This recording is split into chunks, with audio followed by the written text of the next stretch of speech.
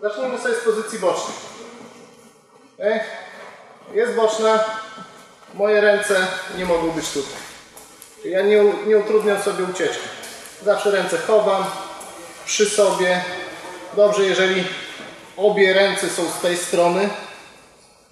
Możecie sobie złączyć ręce, położyć na policzek. Nie odpycham w ten sposób. To, co robiliśmy z otwartej gardy, odpychanie barku, jest super, ale muszę uważać z pozycji bocznej, żeby nie zostawić nadgarstka w ten sposób.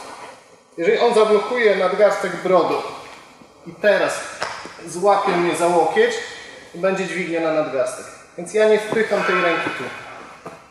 Tutaj dużo ludzi nabiera się na to nawet na najwyższym poziomie. Więc tu nie wkładam tej ręki. Ręka niech będzie albo tak, e, albo ewentualnie tutaj. Czyli ja muszę zrobić sobie przestrzeń. Zanim on zrobi dużą presję tu barkiem, ja wkładam obie ręce do środka.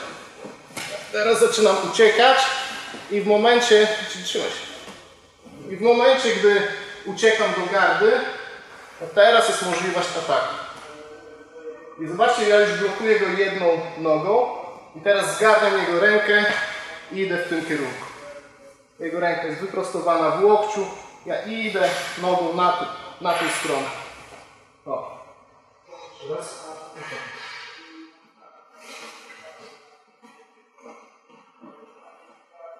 I jeszcze raz.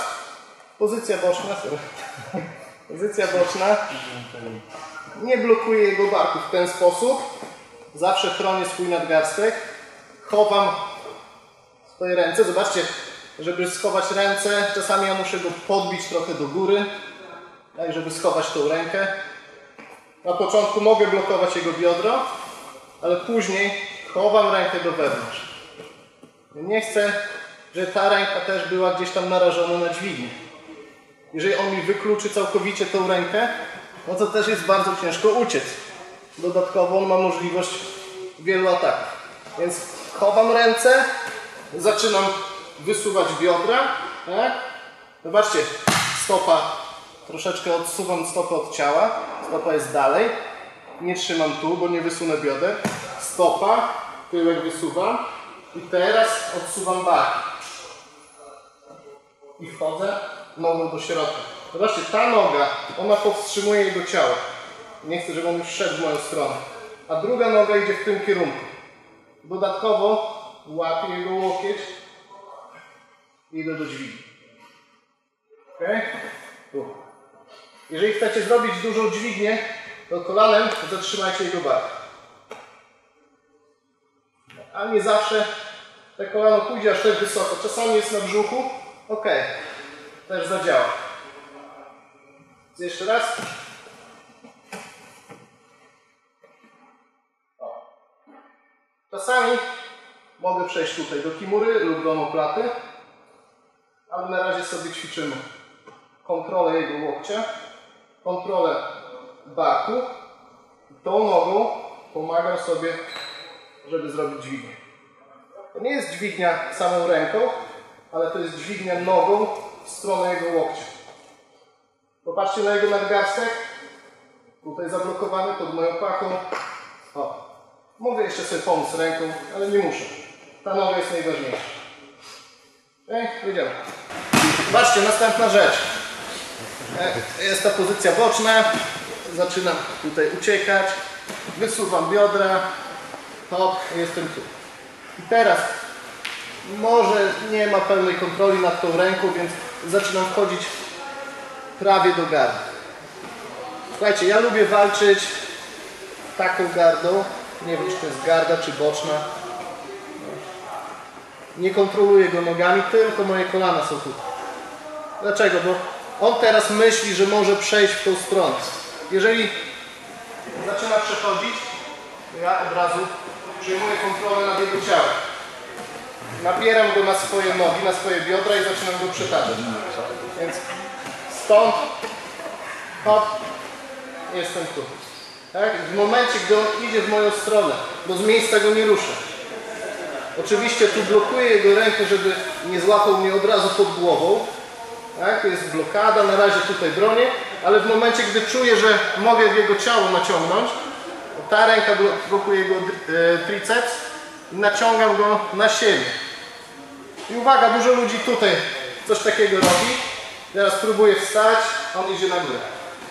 I jest to samo. Albo jeszcze gorzej. Więc zobaczcie, co robimy. Tu, w momencie, gdy on idzie do mnie, ja go naciągam i od razu wchodzę na niego. Hop. I wchodzę na niego. Kolanem na brzuchu. Tutaj.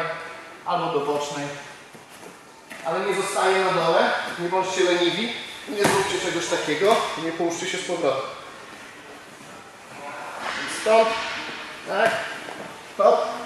Jeżeli jest ręka, od razu atakuję. Tak, ale jeżeli nie mam takiej możliwości, no trochę sobie walczę stąd. Czasami można go chwycić tu za nogawkę, czasami skupcie się tutaj, jeżeli on mocno napiera na tę stronę, skupcie się na obronie i w momencie, gdy on idzie do Was, ta ręka idzie za triceps. Przesuń się dookoła. Zobaczcie, w ten sposób. Nic nie muszę tam łapać, blokada. Okay. Naciągam go. I teraz nie idę całkowicie do boku, tylko odpycham go troszeczkę e, siłą swoich bioder. Hop. I do góry. To samo jest w otwartej gardle. Jak on mi przechodzi, tak, to ja go powstrzymuję i mogę wejść do tej pozycji. Ale teraz zobaczcie, on, no dobrze, dobrze, o tak. On jest na tym kolanie. Więc nie ma szans, żeby go na tę stronę przetoczyć. Okay? Więc ja zaczynam wchodzić pod jego rękę, tu. Blokowałem, żeby on nie przeszedł mi gardy i teraz idę pod jego rękę. Oczywiście nie daję mu przejść barkiem na moją szyję, ale idę pod jego rękę tu. I teraz zobaczcie, wyjmuję tą nogę. Hop. I idę z tyłu na jego głowę. Zapinam trójkę. Popatrzcie. Kluczowa rzecz, żeby zapiąć odwrotny trójkąt, musicie zrobić coś takiego. E, To nie może być z jego plecami. Ja mam krótkie nogi, nie dam rady zapiąć tutaj duszenia, jeżeli nie zrobię czegoś takiego. Muszę być blisko jego szyi. Tak? I kładę sobie piętę na moje kolano. I teraz dopiero zapinam. Teraz mam trójkę. Tak? Kolana do siebie, zaciskam uda, pięty do siebie, mam duszenie. Więc w momencie, gdy bronię, bronię gardy, tak, jestem tu, moje nogi są wewnątrz, ale zobaczcie, ja nie kontroluję stopami, nie kontroluję stopami tutaj, bo ja muszę mieć wolne te nogi, żeby zaatakować go. Dlatego ja często tym walczę. Nie chcę się zablokować tu. Jeżeli moja noga jest zablokowana na przykład w półgardzie, no to będzie już trudniej. Więc idę, tak, blokuję jego bark, idę pod jego rękę. Może do przeprostu, tu, tak, a może do trójkąta. Jeżeli chcę pójść do trójkąta, ja chcę, żeby ta ręka poszła na jego matę. Na matę. Jego. Więc go, więc go mogę troszeczkę pociągnąć w tą stronę. Tak, więc idę tak. To. Z, ty, z tyłu na jego głowę. Kładę piętę na moje kolana. Teraz zapinam. Mam trójkąt. Jeżeli chcę wykończyć tą pozycję i jeszcze tu jest trudno, zaczynam go przetaczać w tym kierunku. Łapię uchwyt jak do kimury i stąd poprawiam sobie duszenie. Stąd jest dużo technik kończących, ale teraz sobie poćwiczymy ten trójkąt. Raz. Może być z pozycji bocznej, może być z otwartej gardy. Na razie go blokuję tu. Hop. Wciągam. Duszenie. Szybka, szybka akcja. Dużo osób to wpada. Tylko pamiętajcie, musicie mieć nogi wolne. On nie może ich blokować. Dlatego troszeczkę wytrącam go z równowagi, żeby on się podparł i wtedy atakuję. Tak? O, wyciągam tą nogę, idę z tyłu na jego głowę, spinam trójkąt i duszę. Tutaj, tą rękę możecie atakować dalej, kimurą, możecie go przetaczać, wykańczać dalej. Tak? Nie zawsze uda Wam się od razu stąd zadusić, więc spróbujcie sobie też przetoczyć go na tamtą stronę i wykończyć jeszcze z pozycji bocznej. Jak zobaczcie, mamy tą pozycję, tak? stąd będę atakował go trójkątem. Przy trójkącie, pamiętacie te szczegóły, o których mówiłem? To, stopa idzie w górę, kolano idzie w dół i zapinam plecy. Nie możecie leżeć na plecach. Zawsze to musi być na boku, coś takiego. Wtedy będzie najlepsze duszenie. Teraz zobaczcie. Stąd, tak, mogę iść tu, po jego rękę, robić dźwignię. Mogę go przetaczać. Tak? Ale mogę też łapać za kołnierz. Jeżeli złapię tak za kołnierz, no to on już się spodziewa, że będzie jakieś duszenie, tak? Może krzyżowe, może e, do lubczołka, ok? Może tu to do lubczołka pójdę, może będę dusił duszeniem krzyżowym, ale jeżeli trzymam ten uchwyt, z motywej gardy, czy teraz, jeżeli trzymam ten uchwyt, on nie spodziewa się duszenia. I teraz zobaczcie, ja idę nogą od góry, o, i go sobie tutaj przytrzymuję. Tylną częścią uda idę na jego szyję tak, i ręką podciągam.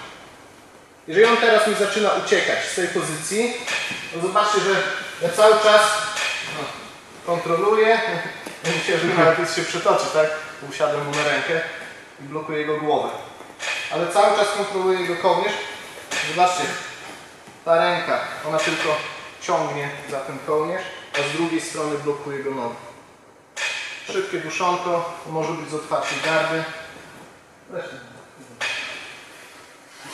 Może być z otwartej gardy, tak, może być z motylej gardy.